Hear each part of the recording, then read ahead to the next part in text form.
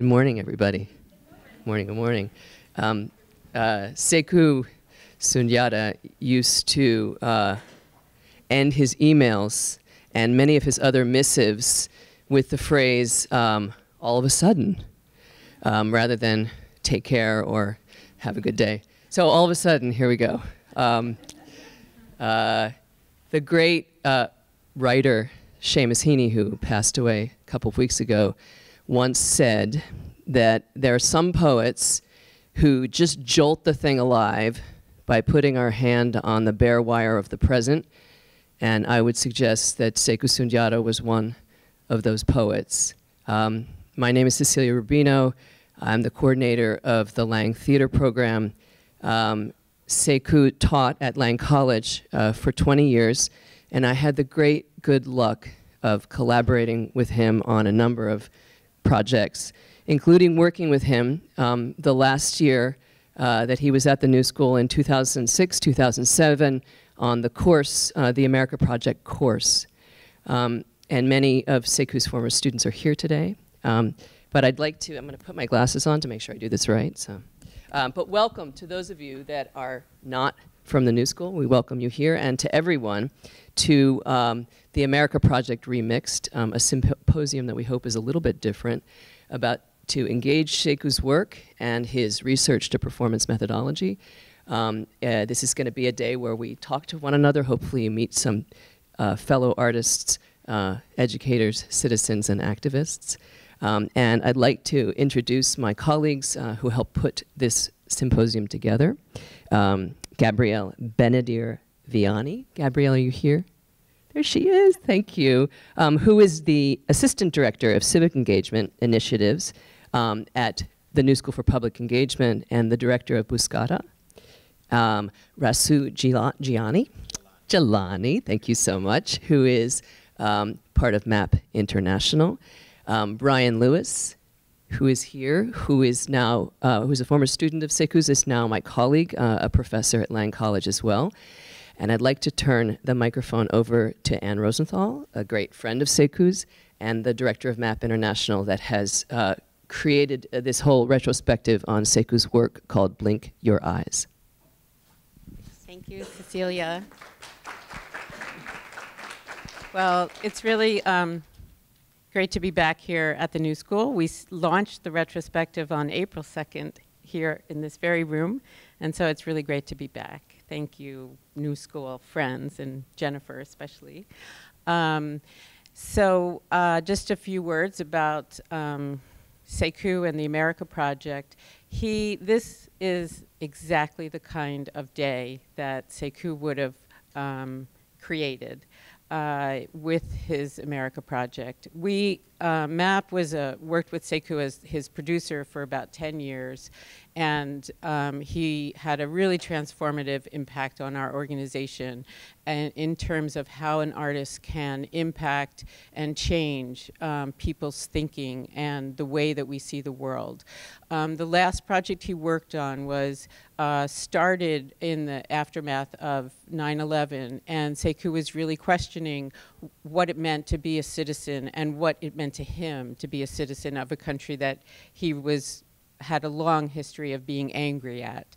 Um, and he felt like he could only answer those questions by engaging other people, other Americans. And so we embarked on um, several years, actually four years of research, what he called research to performance, where he went into public communities and invented forms that we're going to be practicing here today, the citizenship dinner, community sings, and poetry circles, where people could really speak from the heart, not from the top of their head about a particular political issue, but really engage um, what they have in common as citizens, as um, of this country and of the world. Um, that was his vision, and that led to the creation of his final performance work, The 51st Dream State. Um, when he, he was in the process, really, of creating he wanted to leave a mark of this project around the country so that it would live on in communities after he left those communities. And we at MAP, after he passed away in 2007, were really committed to um, to, to uh, realizing that dream of his. And among the handouts that you have is the America uh, Blue Book, which is um, Sekou's intention to publish how he brought his thinking into the classroom, and also a video that you'll see uh, soon of the, the, process that he went through to make the 51st Dream State. Um, and that he, he was a catalyst, as Cecilia said, and he catalyzed us to keep these uh, keep this work going of of the role of the artist in social change and. Um, and after several years, we really felt that we could still feel his impact, and still there were so many issues in the world that um, we always thought, you know, Sekou spoke about this years ago, and so we really wanted to revisit his work on the work that he created on the stage, the work that he made in the classroom with students here at the New School and elsewhere, and, um, and his many bands, etc. And so we did create a retrospective, Blink Your Eyes, Sekou Sundiata Revisited, which has been going on since April and continues until October. And it's brought people, it's really been um, so encouraging how people have uh, responded. Some people have been coming to almost all of the events.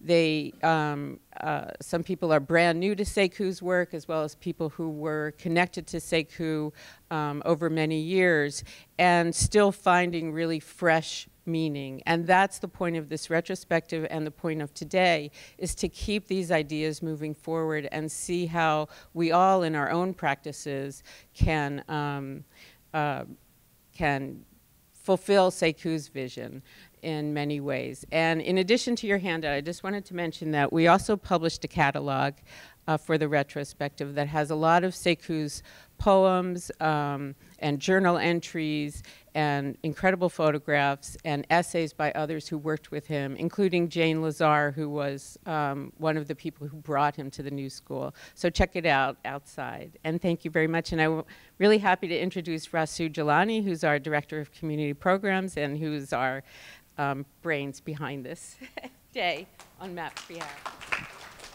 Hello, everyone. Um, good morning. And uh, Ann spoke a bit about being a citizen, um, and that was Sekou's, you know, his research and the uh, America Project methodology. So, taking that same idea and and using it for today is that you all are citizens of today, and um, this symposium is about you. It's not about us, and we need to honor that. And the way we can honor that is to make sure that we all have someone sitting next to us either to our left or to our right. And what we want to do is acknowledge each other. Um, there may be things that may not have you present today, and we want to get that out the way. All right. So um, I know you're kind of like in an island, so let's find a friend. For, oh, but she has some with her. Oh, yeah, yeah, yeah. no problem. So we want to we want to create connection. We want to create um, possible collaboration and community and citizenship. And a way to do that is not to be on an island. So we're going to figure this out and we're going to sit next to someone. And what we're going to do is we're going to spend one minute and you get to, you get to talk about yourself, right? You're going to spend one minute and just say what you do. Um, uh, who you, well, first of all, who you are, what you do, and what, what are your expectations for today, right? So you have one minute, and then after that one minute, I'm going to tell you stop, even if you're in mid-sentence, and we're going to switch over to the next person. Got one minute.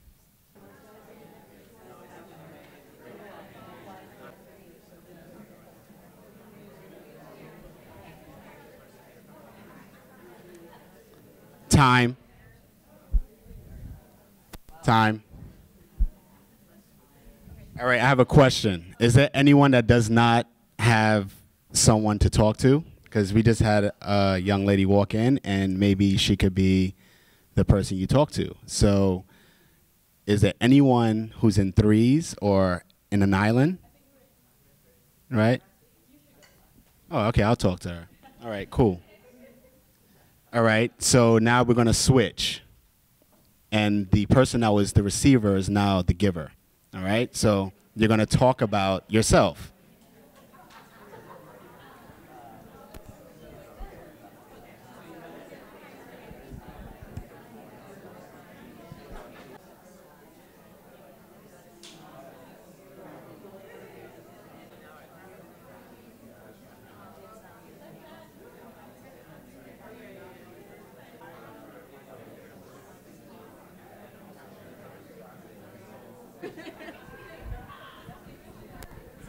All right, we can stop talking now. Did we get it out? You feel better? Do you have the Holy Spirit? Okay, cool. Well, I met LaConte. She is a professor of public health at Downstate. She's also a poet, and she she's here because she's interested in learning uh, some type of practice or methodology that can help her in teaching and engaging. All right, so that's my spiel. I'm out of here. Um, Gabrielle. All right, thank you, Rasu, and and thank you all for introducing each other and yourselves to each other, something like that. Um, I think we're gonna. I just want to sort of introduce the the framing questions for today. Um, we really do want to have today be a useful day in thinking about your practice, um, and really that's part of what we're trying to do is model different ways of doing this work and kind of give you tools and resources for thinking about it.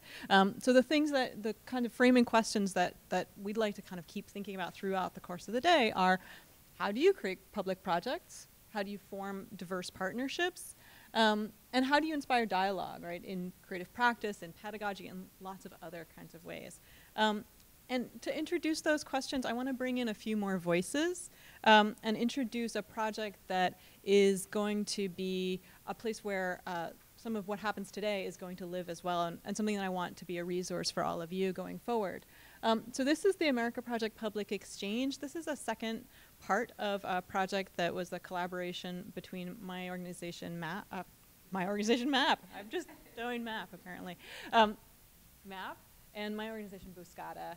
Um, we worked for a long time to develop the guide that you guys have in your hands, um, kind of building off of the work that Sekou did as a teacher at the New School and thinking about how that work could be reinterpreted, opened up for people to use and change and reinterpret in their own practices. Um, and the public exchange is the kind of next stage of that, and it's an online site where we have um, brought together basically people thinking about these questions um, and talking about their own practices. Um, and we really hope that it can be a place and a resource for all of you and a place that you can start to contribute to as well and share your work um, as you do this kind of work. And so really what it's about is about process. It's not so much about, uh, you know, finished projects, but it's about the idea of, well, how do you grapple with some of these big questions and maybe what are the challenges in doing that? Um, so to introduce these questions, I want to bring in a few voices from the public exchange. Um, the first one, sort of thinking about the how do we make public projects, I want to introduce uh, Brad Learmonth um, from Harlem Stage, and he's going to talk um, about some very practical aspects of, of working in public. You do have to have a sense of flexibility in, in and the ability to compromise or let go of that control, which sometimes could be pride or it could be we know what's best for you. So we suffer a lot from there are a lot of people in, in our community that love what we do, but there's a lot of people that don't. They think we're elitist because we're doing stuff that's a little more experimental or cutting edge or whatever. So um, instead of us just saying, well, I'm sorry you don't get it, but you know, it's too bad for you. It's really about how do we get them to get it? How do we get them to feel something different than, than that we're trying to set ourselves apart from them and show them a better way? I think it's the I think it's the job of the arts to expand people's possibilities. That might be showing them a better way but it might just be expanding the way they're already on. Oh, good example. We created a series called Uptown Nights uh, last year, huge success. But it's largely for a younger crowd, and it's kind of like going to Le Poisson Rouge or something with there's low seats. There might be someone on the periphery. Everybody's standing around. There's a DJ. There's you know rocking music, Van Hunt, something like that. So we took out the seats well, people didn't see us that way. Hmm. So no matter who you were presenting or how much it was a dance party, they wanted to sit down. So we brought in some seats, but not seats for everybody. Well, that created a whole big problem because the young people would sit down, and then we have these poor old people come in that really needed to sit down, and there were no seats. So we're like, we were adamant about it. We were trying to figure out how do we message this so that they get it. And it's like, why aren't you reading our material? Um, and and we just finally said, okay, you know what? They don't see us like that, so let's just put seats in. And if they want to dance, we'll move the damn seats out of the way. And so that's what we've been doing. Uh, I don't know if that's a great example, but it's a way of us trying to listen to our audiences and and partner with them and say, okay, you know, we're really not making you happy here with the seating situation, but you love the work, the art. So how can we make you happier in the space? So now, now of course, that we have seats, they're all like, well, where are we going to dance? So if you guys want to dance today, we'll move the seats.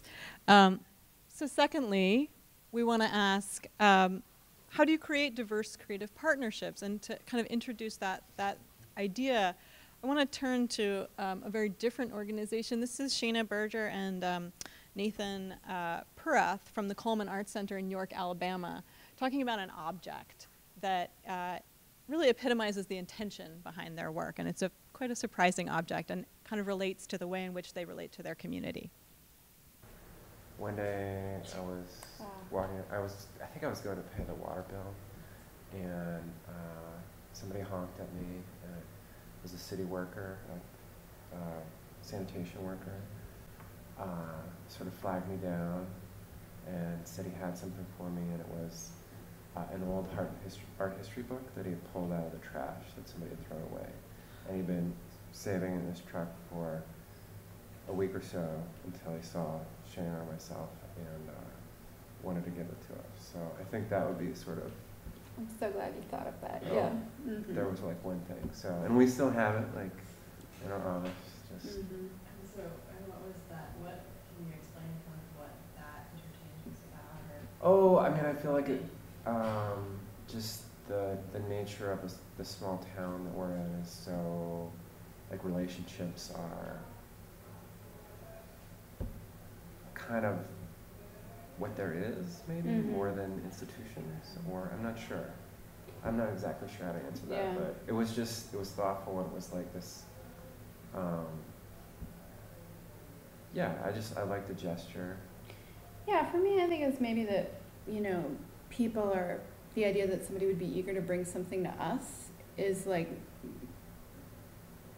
maybe classifies like what I hope we're doing, like more than, I think a lot of times people think like, oh, we work in kind of a disadvantaged area and we're trying to like use art to improve things and that like implies something about us being these great people trying to help everybody else. And to me that's like certainly not what the experience has been just because such a great sense of gratitude for getting to work there and feel like the community gives so much to us and for me like the people that we work with have made they've made me like love art and think that it's meaningful which a lot of times i don't so um, So, so I hope maybe we'll think things are meaningful. um, and lastly, thinking about the idea of how do you inspire dialogue in these multiple ways. Um, gonna embarrass Ann, um, but um, introduce uh, Emily Harney of MAP, who's going to talk a little bit about the um, kind of reflecting on Tattfoo Tan's process of making people feel welcome and making a space for dialogue uh, through MAP's projects of the People's Potlucks, which happened two years ago, I believe, um, and in which, um, as, a, as an artist host, he asked people to bring uh, ingredients as part of a kind of People's Potluck, citizenship dinner, builds off some of the models that we'll talk about today that, that Sekou started. I'm thinking of Tattfoo's dinner at his studio, where um, just just being in his own home was like a was a starting point for that. I feel like for that generosity, he invited people into his own home when you arrived. He provided you with a drink and um, took your took the ingredients that, that he asked people to bring and took everyone's portrait as they came in and there were sort of some steps to make you feel appreciated and then when he started his, when we actually finally sat down for the conversation at that dinner, he started with his own, um, with his own questions and his own um, thoughts, and then asked people to reflect upon those.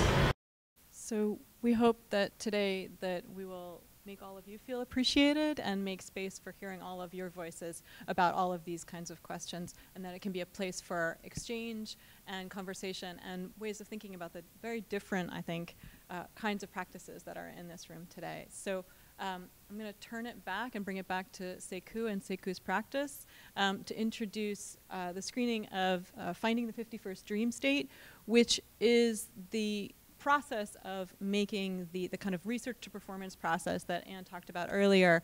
Um, it's a documentary about that process and about the kind of larger America project that Sekou started, which was all of these community conversations and, and many, many pieces, many moving parts, many different collaborators, um, which came together in the performance, uh, the 51st Dream State which MAP produced um, and premiered at the BAM in what year?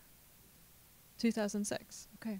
Um, so without further ado, we're going to screen the film and also just as an opening, it, it brings together many of the different kinds of pieces and projects and strategies that we're going to try and enact today in different ways. So.